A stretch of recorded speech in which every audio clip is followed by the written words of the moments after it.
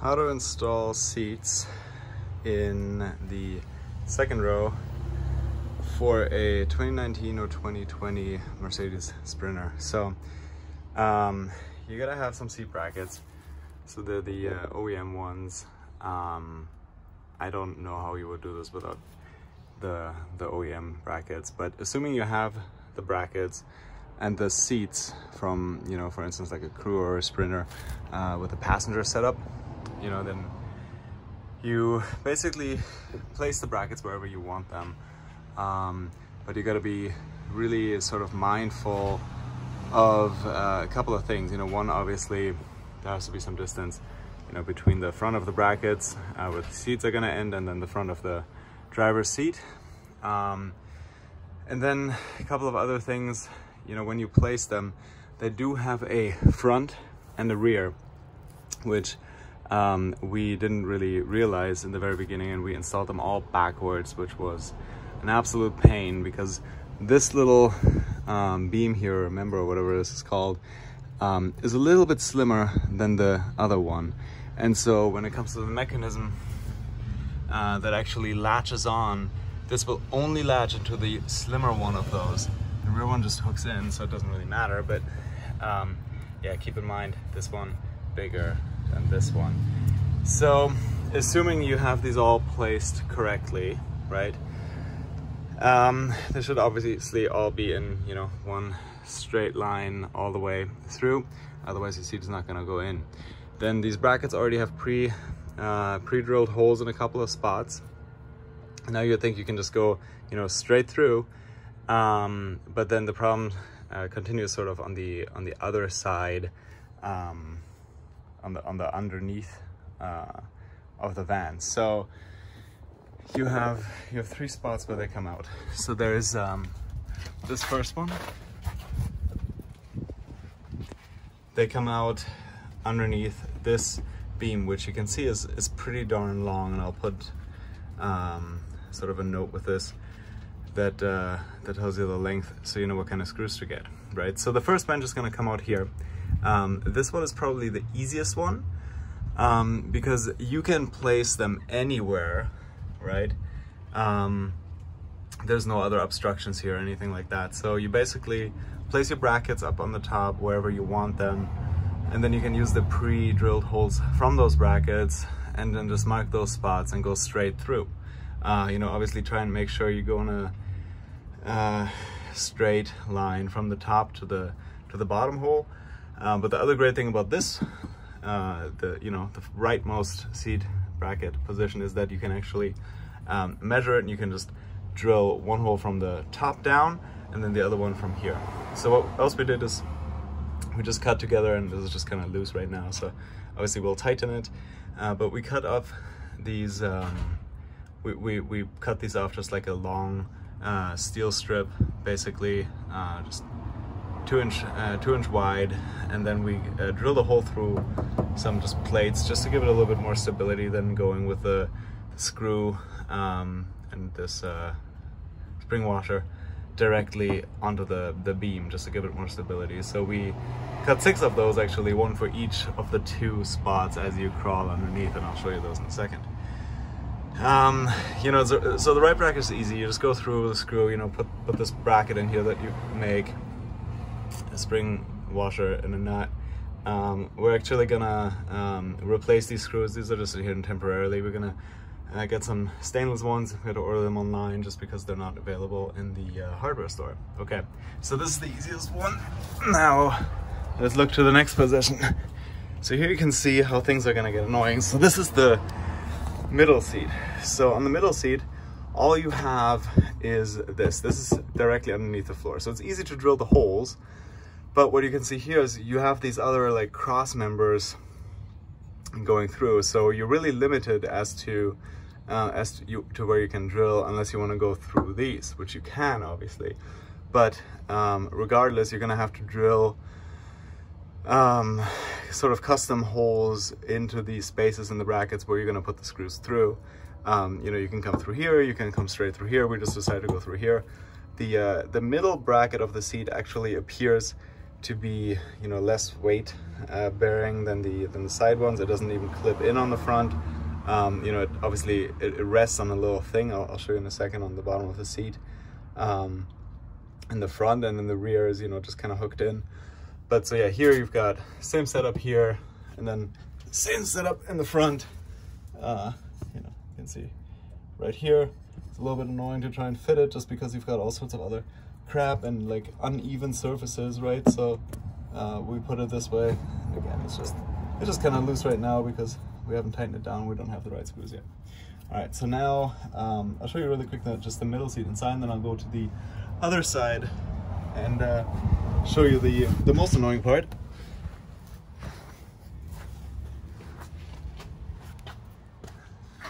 So here's what I was talking about for the middle seats. You see the sides. So this is on the right side, and on the left side, you know, these in the front just clip in um, into the front of the bracket here.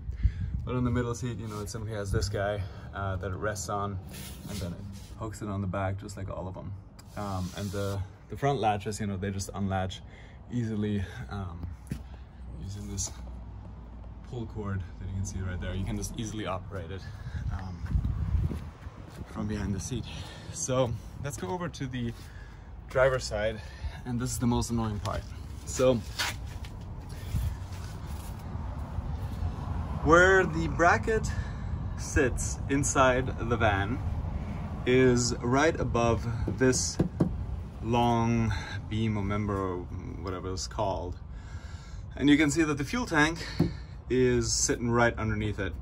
So it's actually, the fuel tank is sort of flush against it, meaning you have no room for um, screws, nuts, anything to come out. So what you need to do is you need to actually lower this tank. And the way I did that is I put uh, uh, the jack from the car just underneath it. Um, I actually went back, then middle, then front, and I just did this very, very slowly. So I put the jack underneath the car, um, put, a, uh, put a wooden board on top of the jack, tightened it against the tank, and then unscrewed each of these screws. You know, I started in the back, but I suppose it doesn't really matter. So I um, undid each of the OEM screws that were in here that, uh, that it came with installed. They're very short. They're all, uh, as it turns out, metric, gosh, I hope I remember this right, metric 10, 1.5 pitch. Um, pretty sure that's what they were. But, you know, they would only go until like here. So we got longer screws. You've got sort of unlimited space in, in there. Um, there is a captive nut um, for each one of these, um, screws um, inside of this beam. So it's really easy to do uh, once you figure this out. But basically we got these one inch spacers uh, and a different screw uh, and spring washer and just so each one of these uh, on both on this side but then also on the other side of the tank you know you can sort of see through on the other side.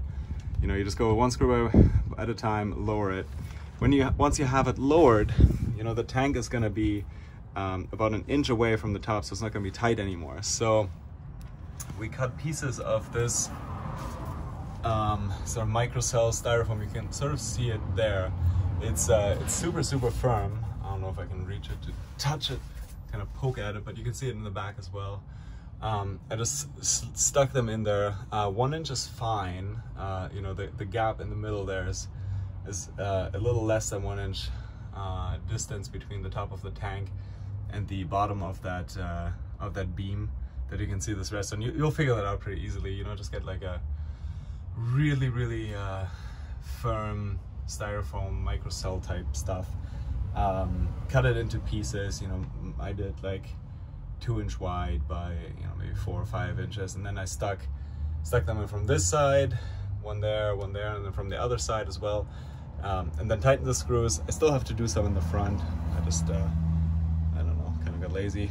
Uh, but I'll still do that once we uh, swap out the, the screws that, uh, that hold in the seat brackets.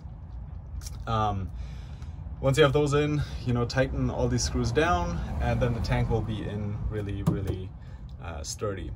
The other problem is here on this side, um, you can't drill from the bottom against it because, you know, the tank is like, you know, flush against the, the side.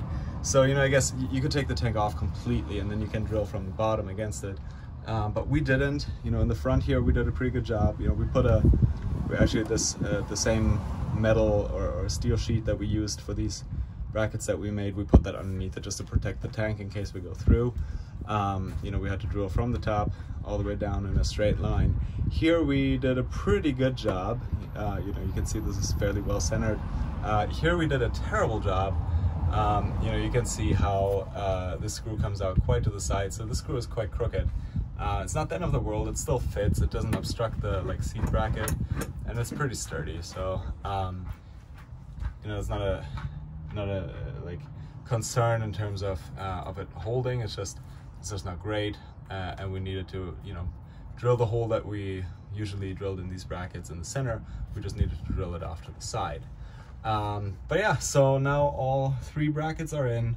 Um, it took an incredible amount of measuring um, and re-drilling holes. Um, but finally this is done and uh, I'll just point out one more thing that I found really helpful. So one of the problems that we found um, is it's really difficult to measure the distance um, from you know these uh, these uh, I, I, don't know what to call these right these things in the bracket that the seat's gonna rest on right that needs to be in one straight line all across. So we found it really difficult to measure because the seat here, you know, if you measure from here to here, you know, it's a, it's a, it's a different distance than in the middle. You don't really have like a, like a great point to measure from. So what I did is I actually put a, a, a, a giant metal ruler that we have all the way across and use that as sort of a, a backing to like back a, a different ruler up against it. Uh, it's actually a, a right angle kind of kind of ruler. Um, that way we got that distance right. Um, gosh, it took a lot of just measuring where exactly we would need to make our holes. You can see here, you know, we we had to do it a couple of times, but um, now it's in and it's sturdy. And here we just use these. These are the washers that came with some sort of like plastic little brackety things that were in the OEM brackets. Uh, we tossed those, but we kept the, the washers. You know, I don't really know why. I guess just because we had them, but we put another washer underneath it anyways. So, yeah, and now the seats uh, go in just fine. Um, you know, we'll tighten this down once uh, we have the other screws, but for now it holds. Seats go in uh, really, really well. Um, yeah, it's just an absolute pain in the butt to do and uh, much easier with the earlier Sprinters uh, where you already have captive nuts in the floor, um, you know, that you just have to kind of measure and find. Uh, I would say for us it wouldn't have made a big difference because we needed to put these seats as close to the front as possible um, because we are fitting five people sleeping into a 144 which is a challenge in of itself and uh, uh, yeah so I hope this is helpful um, good luck if you're doing it uh, it's uh, it's quite a bit of work, more than expected. It took us um, took us about two days. You know, I suppose had we known how to do it, um, it could be done in a few hours. It's just the measuring and the the cutting of these brackets and then drilling the holes correctly is uh, is a pain. It's a lot easier if you know that there is a front and back to these brackets. So make sure the skinny one goes in the front on all three. Otherwise, you're gonna have a uh, regretful moment um, when you think you're done and you try and put the seat in and it just doesn't fit, then you realize um, you installed your seat bench backwards. All right, good luck.